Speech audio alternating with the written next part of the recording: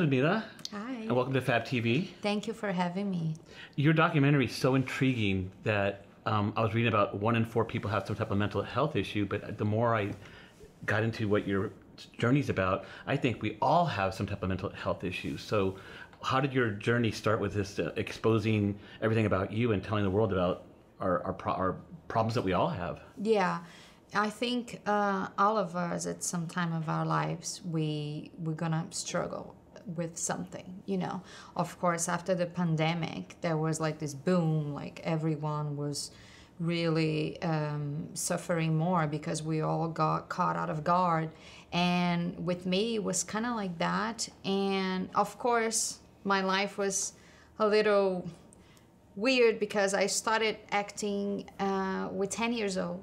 So I grew up in a spotlight and I thought everything was fine. And of course, when you grow up acting people watching you, you have all this kind of expectations towards you and you don't want to disappoint. So you just want to be the best version of yourself. But at some point in my life, I start questioning myself and like who I really was uh, am I a result of people's expectations or do I really like this?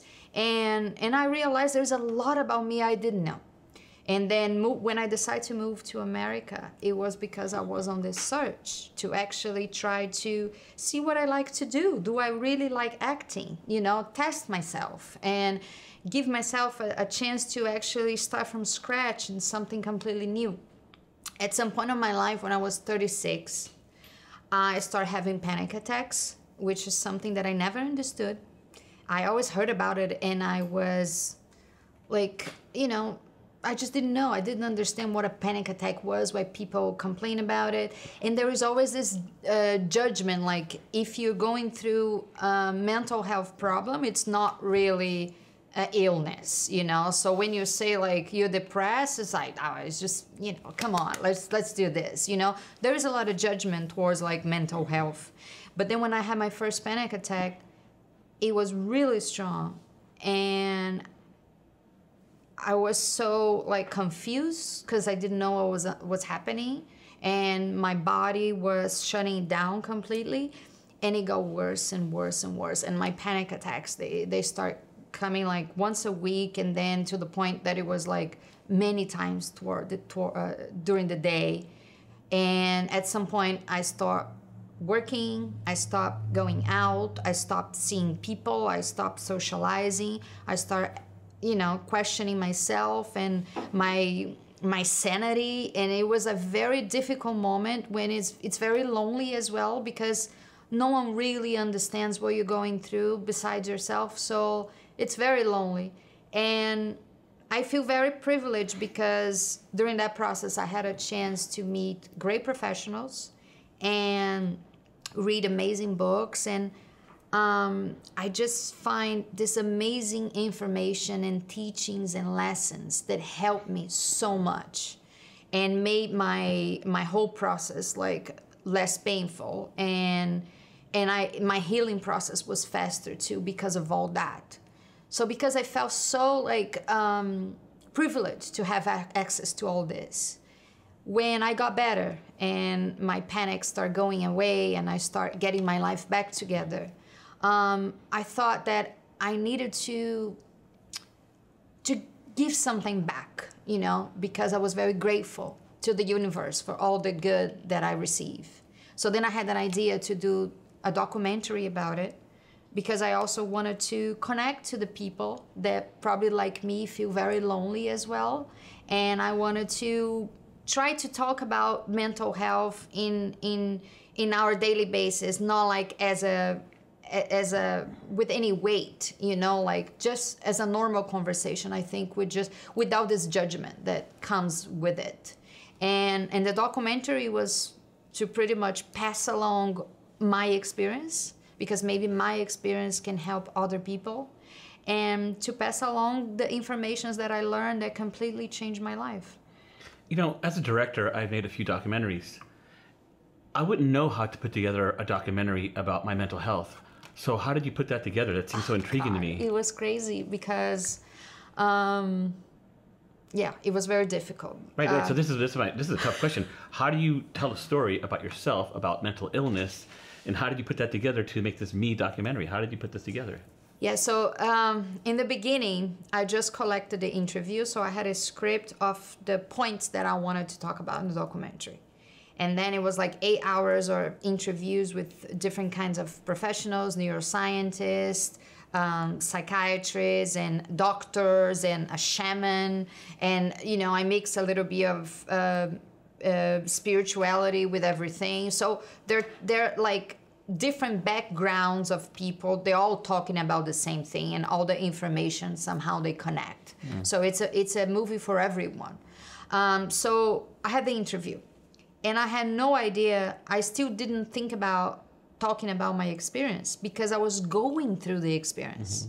Uh, as i was filming i actually at some point during the during the the shooting my health got really bad and then i had i on top of everything i had a physical a problem as well a health problem. And i had to take care of that. It was just so much that was building up and then i stopped editing because i was editing the film and i stopped editing for like six months because i needed to dedicate myself completely to my physical and my mental health and during that time, I didn't even know if I was going to go back to the film because it was very difficult, everything for me. And I was like, well, maybe maybe it's not going to be it. Maybe, I don't know, maybe I'm not going to get out of this situation. You know, it was very difficult time. And then when I got better, it came to me that I was like, wait a minute. The, the movie is the process because if I'm gonna talk about something so um, sensitive like this, and I wanted to help people, I wanted to be honest in this process. I need to be vulnerable as well and put a little bit of my experience because that it's gonna open a, a, a big door for people to connect, you know, and and people can relate to to what I what I went through. So I need to be to put my story in it and the, so the idea to actually talk about my process it was in the end when i was editing all these amazing interviews because i needed something to connect everything mm-hmm. you know? And then my story is just like um it's like a thread that connect people to the subject but once you start watching the movie it's not about me. It's about whoever is watching. It's about you Got you it. know, so the me that I, the name me is not me, Ludmila, is me, the person that is watching the film. It's the, all of us, Got you it. know. So, have you shown the film to some people? So the movie premiere in Brazil, and it's been a huge success over there. I'm just very, very happy because uh, it's doing really well, and people come to me to talk about it, and I get messages all the time. That's what the question I wanted to ask you. So, what are people's reaction to your film? What has been like the, the main comments that that come or the main reactions from your film? It's been honestly better than I ever imagined because at some point I was like, are people gonna be interesting in hearing about this? You you doubt yourself as yeah. a filmmaker, right? It's like and then hearing and then seeing people's reactions. Some people come out of the film crying and some people like on the premiere they're just coming to me and like giving like massive hugs and feeling incredibly connected.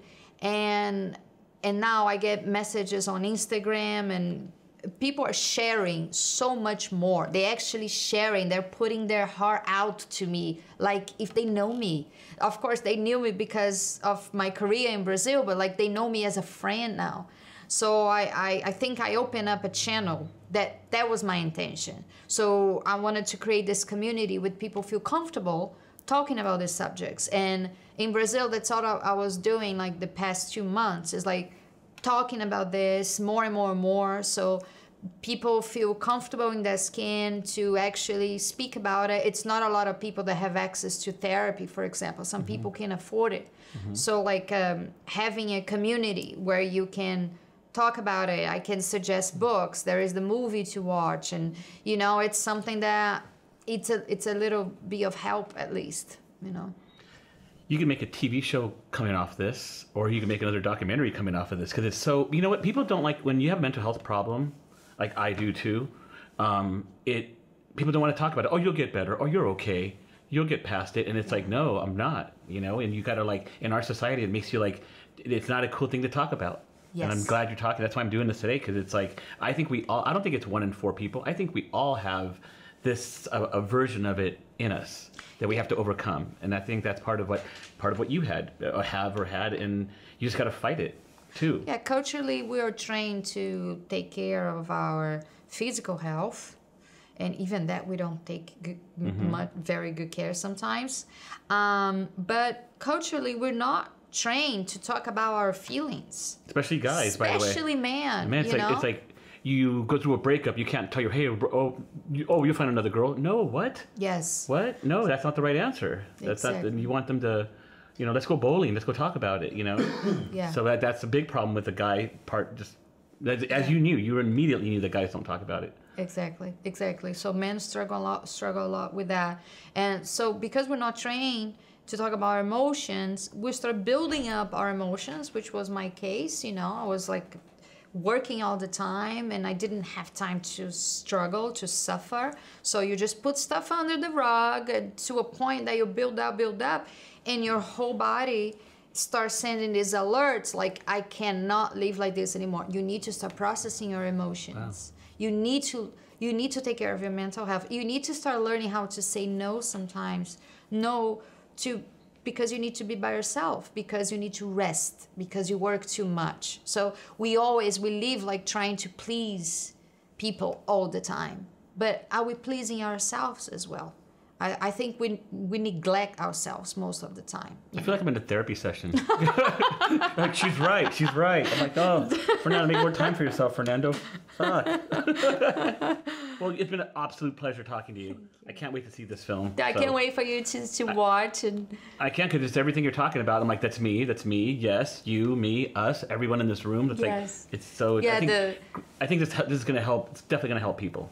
I, I really hope so. We have the second one that's um, we're gonna start shooting next year. Oh, a second one. it's a it's a trilogy actually. Wow. Oh, this wow. documentary, Wow. yeah. It's gonna be me, you, and us. Oh, it. That's so cool. Very Yeah. cool. Thank well, you. Well, such a pleasure. No, such a thank you pleasure. for thank having you. me. Thank It you. was a pleasure. Thank you for the therapy session. Thank All right. you for having me. Thank you.